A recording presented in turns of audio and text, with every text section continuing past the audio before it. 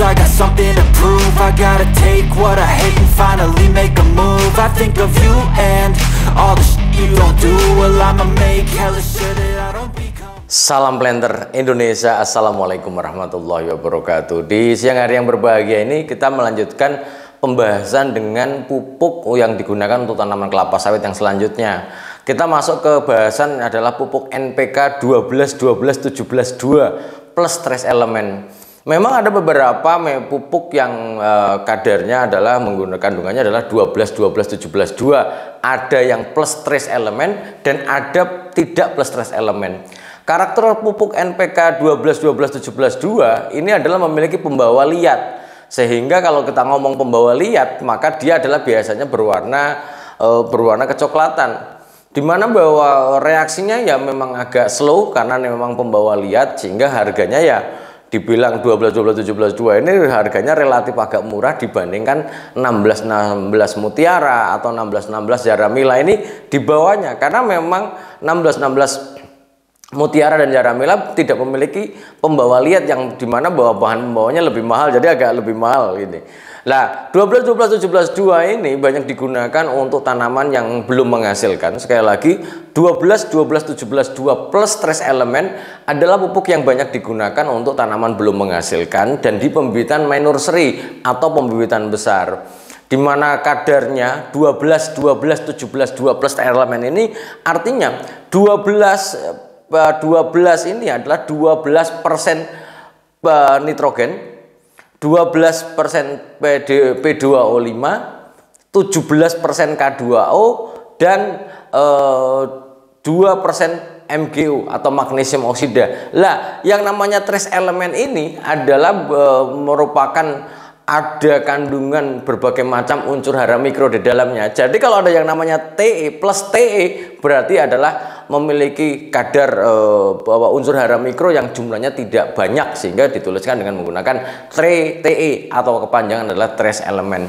Kemudian di apa ya efek dari trace element ini sangat bagus untuk di pembibitan karena memang ketika kita menggunakan 12 12 17 2 yang non TE eh, daunnya relatif agak lebih kusam sedikit dan kurang lentur sehingga dengan adanya TE ini atau trace elemen ini maka daun eh, pembentukan daun di pembibitan akan jauh lebih bagus yaitu mengkilat lebih mengkilat dan dia lebih lembut. Ini harus kita pahami bareng-bareng. Kemudian eh, karakter selanjutnya dari apa 12 12 17 2 plus TE ini adalah bahwa kita tidak boleh melupakan bahwa memiliki kandungan 12% nitrogen. Ketika pupuk menggunakan memiliki 12% nitrogen, tak pelaknya dengan pupuk 13827 plus 0,65 boron nantinya yang kita akan jelaskan selanjutnya adalah memiliki nitrogen yang cukup besar, yaitu adalah 12%. Ketika kita ngomongin 12%, maka penyimpanan pupuk ini tidak boleh main-main penyimpanan pupuk ini tidak boleh main-main. Artinya ketika dia terbuka, ketika dia terbuka, maka yang terjadi adalah bahwa nitrogennya akan akan akan keluar, akan mudah encer. Pupuk ini akan mudah encer. Artinya bahwa nitrogen akan bermudah berbawa ber, bersentuhan dengan uap air yang ada di udara sehingga dia mudah encer. Maka selalu saya, saya sampaikan melalui channel The Brondol ini, ketika membeli pupuk dengan kadar nitrogen di atas 10%, ketika beli pupuk kemudian di apa namanya dimasukkan ke tangan atau diletakkan ke dalam tisu ataupun kertas diletakkan saja. Maka yang terjadi adalah bahwa dia lama-lama akan ngembun. Akan lama-lama akan akan akan apa ya menang ber, bereaksi dengan uap air di udara dan dia akan basah. Sehingga inilah yang memudahkan kunci dari sebuah reaksi itu sendiri. Kemudian uh, di dalam 12 12 17 2 yang tidak boleh terlupa adalah bahwa ketika mau apa namanya uh, pupuk untuk tanaman belum menghasilkan, pupuk ini tidak bisa single. Tidak bisa single. Artinya bahwa Pak Wendy saya mau menggunakan uh, 12 12 17 2 ini tapi sendirian saja. Artinya bahwa hanya menggunakan 12 12 17 2 saja.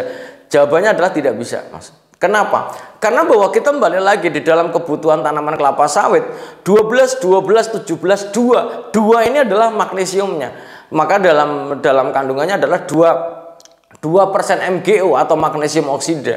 Ketika dia hanya 2% magnesium oksida, maka yang harus kita lakukan adalah menambah magnesiumnya. Dengan cara gimana? Dengan cara menambahkan dolomit. Sehingga kalau melihat rekomendasi dari PPKS, maka di dalam penggunaan 12 12 17 2 plus trace elemen ini, maka tetap harus ada pupuk pendampingnya, yaitu adalah dolomit. Dolomit persatuan um, persatuan waktu, persatuan umur nanti akan diberikan dan jangan lupa bahwa ap, mesti ada pertanyaan. Ini kan 12 12 17 2 plus trace elemen ini berarti ada undang unsur hara mikro. Berarti apakah kita masih tetap menambahkan e, menambahkan unsur hara mikro di dalam tanaman kelapa sawit kita Pak Wendy? Jawabannya adalah tetap menambahkan walaupun rekomendasinya hanya separuh dari penggunaan pupuk tunggal. Artinya, jika memang menggunakan pupuk tunggal, urea, rock fosfat, kalium, KCl dan dolomit, ketika kita menggunakan boron maka standarnya adalah 50 sampai 100 gram per pokok per tahunnya. Namun ketika kita menggunakan NPK 12 12 17 2 plus TE ini maka kita tidak menggunakan sebanyak itu. Kita cukup hanya menggunakan 25 gram sampai 50 gram per pokok per tahunnya. Sehingga memang untuk menambahkan unsur hara mikro ini sangat penting bagi budidaya kelapa sawit khususnya sorry eh, 25 sampai 50 gram eh, HGFB atau pupuk borat. Selain itu bahwa apakah pupuk 12 12 17 2 plus trace elemen ini e, di gambut tetap harus ada CU-nya ya tetap tetap ada Mas. Pupuk unsur hara mikro tetap ada baik boron ataupun CU untuk gambut tetap kita berikan karena balik lagi TE yang ada di dalam pupuk ini kadarnya hanya sedikit saja. Masih banyak yang bertanya Pak Pendi bagaimana untuk tanaman bla bla Pak. Sekali lagi mohon maaf, The Brondol memang apa ya e, sebagai platform untuk menghijaukan dunia tanpa syarat namun bagaimana bahwa The Brondol adalah tempat belajarnya petani kelapa sawit. Sehingga kalau memang ada pertanyaan tentang pupuk ini berkaitan non kelapa sawit, maka saya bisa uh, bisa mencari data lainnya namun saya harus belajar dulu karena memang selama ini berkecimpung di dunia kelapa sawit sehingga kalau ditanya pupuk lainnya mohon maaf. Jadi kurang begitu menguasai. Tapi kalau untuk kelapa sawit insya Allah. Kemudian bahwa pupuk ini digunakan di pembibitan yaitu adalah di usia e, pindah tanam itu tiga bulan. Kemudian pemupukan pertama biasanya pakai 15 15 64 Nah ini ketika sudah empat bulan baru kita masuk 12, 12, 17, 2. Sekali lagi bahwa pupuk ini adalah pupuk dengan berbahan pembawa liat yang mana bahwa reaksinya cukup lambat. Namun yang harus kita pahami ketika menggunakan ini di bibitan karena memiliki kadar 12% nitrogen maka jangan pernah bermain-main dengan pupuk ini ketika bersentuhan dengan daunnya. Ketika dia menempel ke daunnya maka daunnya bisa gosong. Artinya bahwa dia memiliki nitrogen yang cukup besar. Kemudian di dalam pemupukannya misalnya ini polybag kemudian dimasukkan. Lah ini kalau terpental satu butir melanting ke pucuknya maka pucuknya ya tetap akan bisa gosong. Ketika mupuk ini maka mupuknya harus benar-benar dengan cara membungkuk kemudian ditebar merata di atas polybagnya dan sekali lagi reaksinya cukup lama. Dan uh, apa namanya reaksinya cukup lama untuk beberapa uh, beberapa kandungan yang lain tapi nitrogennya cukup cepat. Dan uh, ketika dua minggu sekali mesti petani kelapa sawit akan bertanya Pak Pendi saya mena memupuk apa 12 12 17 2 plus stress elemen ini untuk di polybag besarnya. Tapi kenapa polybag besar saya ketika mau ada pupuk dua minggu lagi kenapa pupuknya masih ada. Tenang saja Bapak Ibu semuanya. Maka di dalam 12 12 17 2 ini setiap merek memiliki kekerasan masing-masing. Itu. Maka rekomendasi bagi Pendi sekali lagi The Brondol tidak pernah di endorse tapi sudah saya buktikan sendiri bahwa pupuk pupuk 12 12 17 2 yang sangat mudah hancur adalah mereknya Pak Tani atau dari uh, mereknya Pak Tani produksi dari Saprotan Utama Semarang. Namun sekali lagi bahwa 12 12 17 2 plus trace elemen ini uh, penggunanya harus benar-benar dihitung karena balik lagi harga pupuk hari ini adalah semakin mahal. Kesimpulannya yang ingin saya sampaikan bahwa ketika untuk bibitan ini bisa digunakan mulai pada usia 4 bulan dengan skala umur tertentu dosisnya maka tertentu. Kalau tidak punya tabelnya hubungi The Brondol akan saya kirimkan. Kemudian kalau di tanaman belum menghasilkan 12 12 17 2 ini akan digunakan 0 sampai 3 tahun umumnya.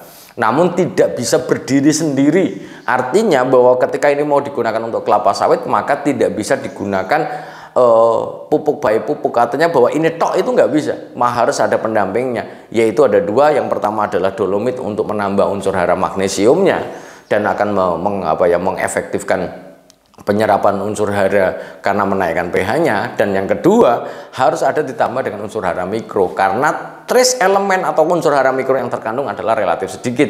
Baik boron untuk di mineral dan di gambut itu ada boron dan plus Cu harus tetap ditambahkan. Mungkin itu dulu yang dapat saya sampaikan pada kesempatan di siang hari yang berbahagia ini. Cukup panas namun semangat selalu. Dan terima kasih atas dukungan sahabat-sahabat The Brondol semuanya yang pada hari ini sudah menjelang seribu video The Brondol. Lah ini salah satu pencapaian yang luar biasa. Sudah ternyata selama ini bahwa The Brondol sudah seribu video yang hadir di hadapan para sahabat dan saudara-saudara The Brondol semuanya. Dan terima kasih atas supportnya untuk tahun 2023 dan semoga 2024 akan tercapai 100 ribu subscriber untuk bagaimana mencerahkan petani kelapa sawit Indonesia yang pada hari ini mungkin ada uh, orang pemerintahan yang mendengar dan petani kelapa sawit tidak ada pendampingnya maka The Brondel mencoba di sela-sela waktu Pendi adalah untuk selalu hadir kepada sahabat The Brondel semuanya untuk mendampingi bagaimana berbudidaya kelapa sawit yang benar. Terima kasih. Semoga Allah memberikan kesehatan dan kebahagiaan tanpa syarat bagi saya, Anda dan semuanya dan uh, Allah memberikan uh, mendekap kita dengan kesehatan, ilmu pengetahuan yang bermanfaat dan dilancarkan jalan rezeki yang halal dan tidak disangka-sangka. Terima kasih. Salam planter Indonesia. Assalamualaikum warahmatullahi wabarakatuh.